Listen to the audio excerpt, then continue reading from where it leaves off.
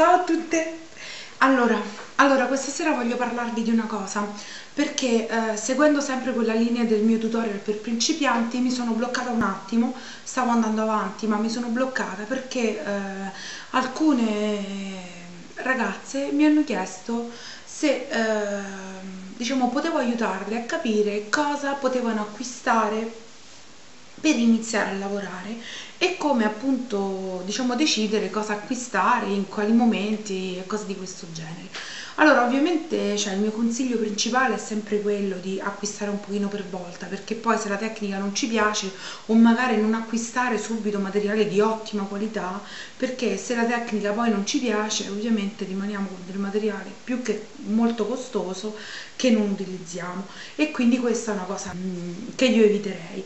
Io ho proceduto per gradi eh, e qui eh, appunto in questo diciamo filmato eh, vi parlerò proprio di come io ho acquistato per tempo delle cose spendendo un pochino alla volta ma acquistando sempre dei materiali sempre diciamo più ehm, eh, se, se, vogliamo che, che riuscivano diciamo sempre più a raffinare alcune tecniche.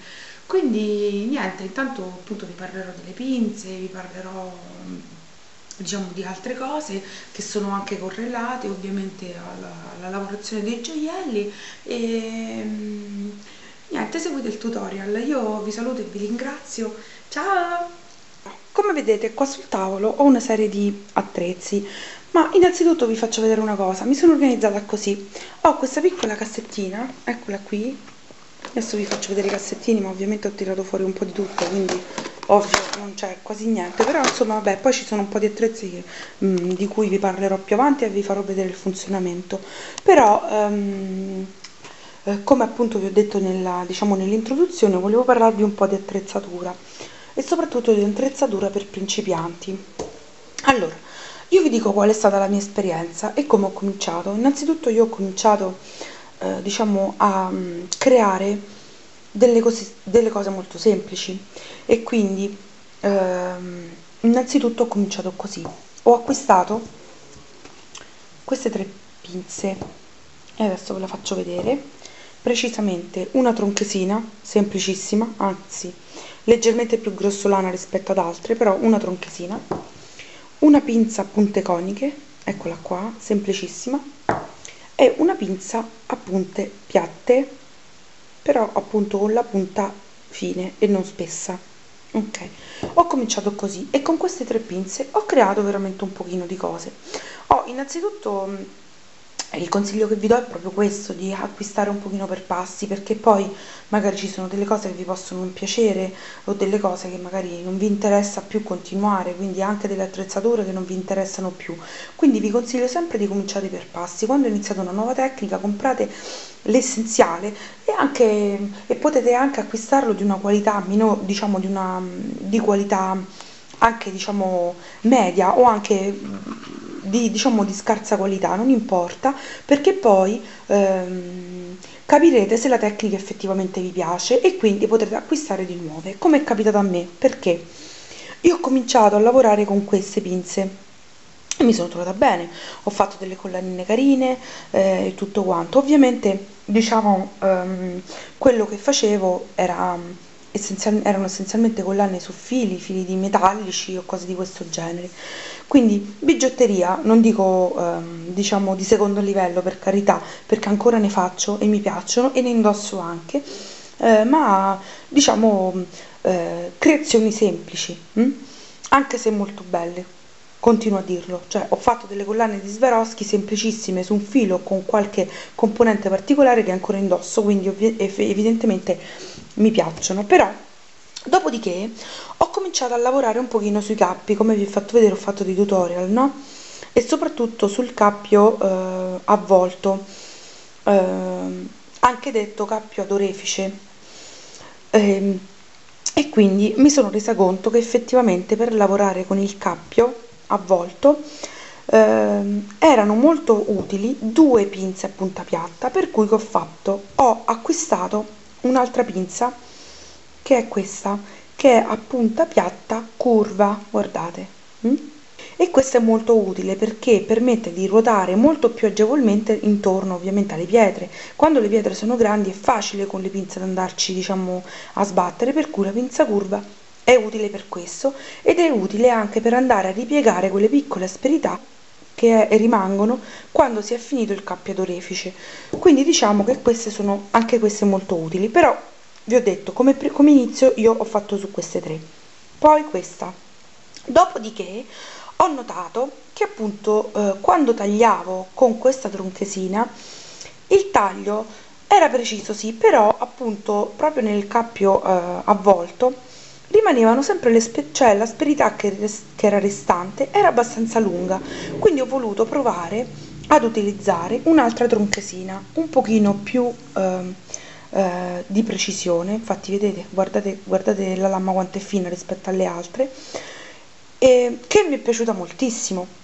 Ho un'altra cosa che ho provato e ve la devo dire questa perché per esempio queste tronchesine un pochino le ho rovinate. Perché?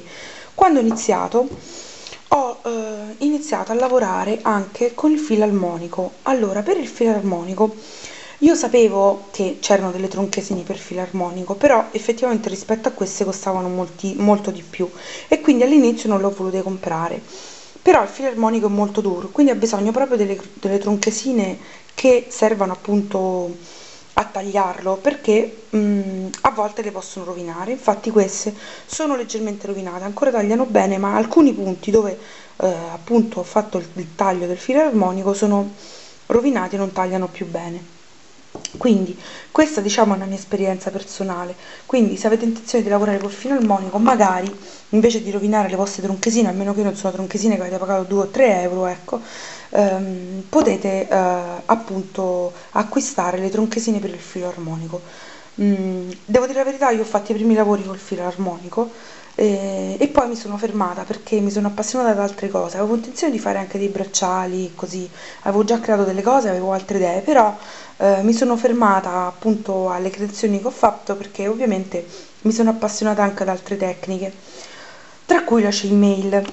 Allora Ehm, della chainmail vi parlerò più approfonditamente anche in un altro tutorial ma giusto per farvi capire come utilizzo io eh, le attrezzature cosa utilizzo e poi insomma eh, cosa ci può servire per lavorare al meglio diciamo le maglie. Però va bene adesso diciamo voglio fare una panoramica generale dopo tutto questo innanzitutto vi devo dire che io sono appassionata anche di, di lavorazioni wire Um, ovviamente la CMI la conosco da molto più tempo, quindi vi sto facendo dei tutorial per questo motivo. Uh, sulla lavorazione wire ancora ho un po' di lavoro da fare, quindi non vi voglio um, fare tutorial adesso perché non mi sento, insomma, non sento che, sia, um, che, che è ancora il momento giusto però insomma già utilizzo diverse attrezzature, utilizzo il jig, utilizzo anche il rocchetto per lavorare appunto um, con um, per le lavorazioni tubulari, eh, ehm, già utilizzo l'artistic wire, mm, ho, ho, già utilizzato il torcifilo per esempio, ho, ho già creato degli anellini con appunto delle attrezzature per creare anellini vi farò vedere tutto quanto però al momento queste mi sembrano appunto le cose veramente principali da dirvi. Allora appunto per questo visto che mi sono appassionata al wire ho voluto comprare altre due pinze. Una è questa qui. Eccola la vedete? È una pinza a punta piatta spessa cioè grossa e di plastica. Questa serve a non rovinare il filo eh, quindi l'artistic wire quando si, quando appunto si lavora ehm, con il filo metallico perché ovviamente eh, si, si può rischiare di rovinarlo.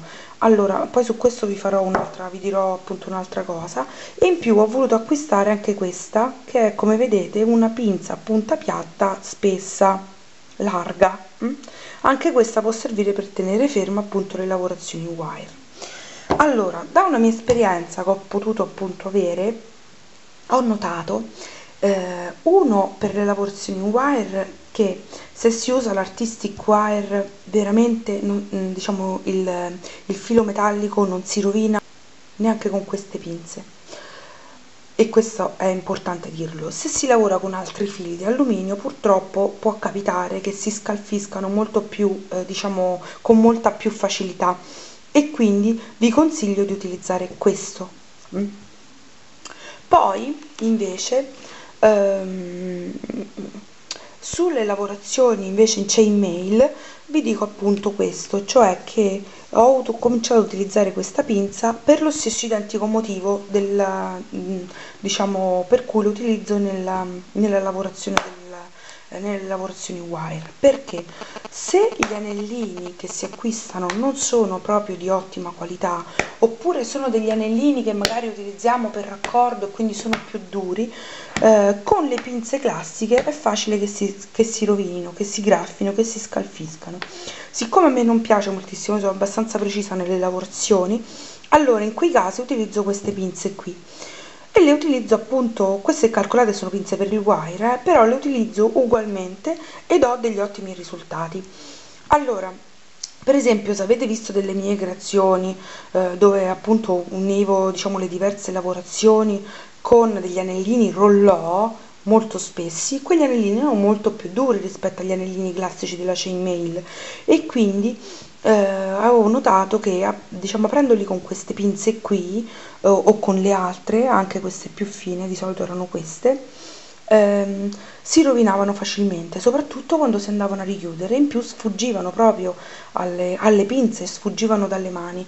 E quindi era um, abbastanza difficile diciamo lavorarli. Con queste invece mi sono trovata benissimo si richiudevano perfettamente e andavano appunto e eh, si richiudevano perfettamente e non si rovinavano. Quindi eh, chiudo questo per dirvi appunto che ehm, questa è appunto la carrellata delle pinze che ho. Ho anche appunto vi ho detto ho moltissimi altri attrezzi che vi farò vedere più avanti oltre alle pinze volevo farvi vedere altre cose che ho acquistato sempre mh, mm, diciamo nel tempo ma ovviamente ehm, diciamo sono cose abbastanza utili ok? Ovviamente io non ho più i primi che avevo una volta però appunto ve li faccio vedere e sono questi contenitori per perle e perline. Ora ovviamente io non sono una perlinatrice se non altro non ancora. Comincio a fare le mie prime esperienze quindi poi vi farò vedere quali sono i miei risultati. Però ecco vedete ci metto le perle gli svaroschi eh, ho delle perle di onici insomma le perle anche più grandi quelle che utilizzo per le collane per le decorazioni le tengo in queste che sono delle scatoline appunto per perle perline e cose varie. Allora queste sono le ultime che ho comprato un 3 o 4 mesi fa da Hobby Perline. È solo per farvi vedere perché ovviamente che cosa succederà? Che mano a mano che si andrà avanti eh, diciamo nella, nella crescita un po' nella creazione di gioielli si avrà bisogno anche di queste cose di questi contenitori. E guardate di questi contenitori se ne possono utilizzare a migliaia si possono prendere anche quelli da ferramenta come si possono acquistare dai diversi siti come nei negozi appunto che riguardano solamente perline. Costano un pochino di più in questi negozi però ovviamente sono fatti più ad hoc Um, però insomma guardate quando se ne cominciano ad avere tante veramente si compra qualunque contenitore che possa contenerle. Oh, un'altra cosa che ho comprato dopo un po' di tempo appunto che lavoravo le perline sono questi tappetini. L'ho comprati sempre 3 o 4 mesi fa.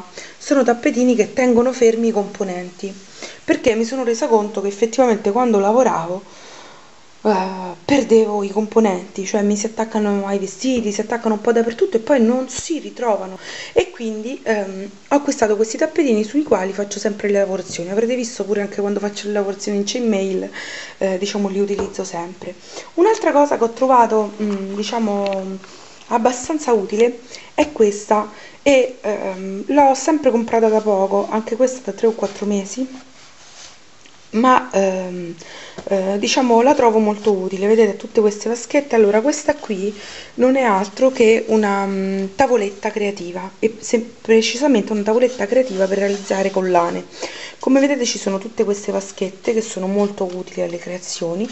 E ci sono anche due o tre giri di collane che eh, possono servire sia per diciamo realizzare diverse lunghezze di collane ma io spesso le utilizzo anche per avere una visione d'insieme magari su eh, due tipologie della stessa collana per vedere se mi piace di più l'una o l'altra. Quindi io mi ci sono trovata bene, devo dire che è un attrezzo che alla fine per il costo, diciamo accessibile a tutti, ehm, è utile quando si realizzano soprattutto collane con perle, perline e componenti vari. Un altro acquisto che sarebbe carino è, farla, è, è, è quello della tavoletta creativa per bracciali anche quella credo che sia abbastanza utile io ancora non l'ho fatta devo dire la verità eh, anche perché al momento quando mi viene in mente bracciale mi viene in mente un bracciale di chainmail perché io adoro la chainmail e ne metto sempre tanti ne metto sempre diversi li realizzo e li indosso quindi alla fine diventano miei. Comunque a parte questo spero di esservi stata di aiuto e con questo vi ringrazio e vi saluto. Ciao